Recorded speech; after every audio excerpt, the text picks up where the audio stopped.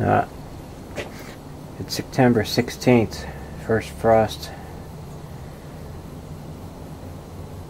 the year, season, not of the year. It's about 32, about 32 and a half according to the thermometer. So it's not quite a freeze, I guess. The air drops cold enough to put a frost on everything. Probably killed just about everything because it's pretty heavy frost. Leaves will be changing soon. Those down there already did. Whatever those are, I forget. Oh, those are uh,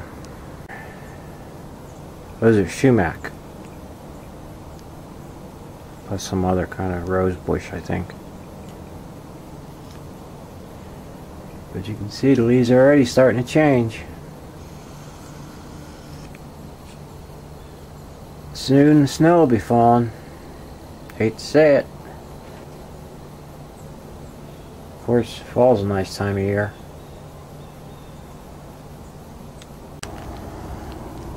I have to find my ice scraper. Then I'm cutting it. But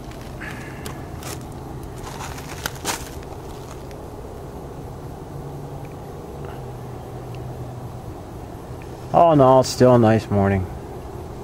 Oh yeah, it's the first day I built a fire too.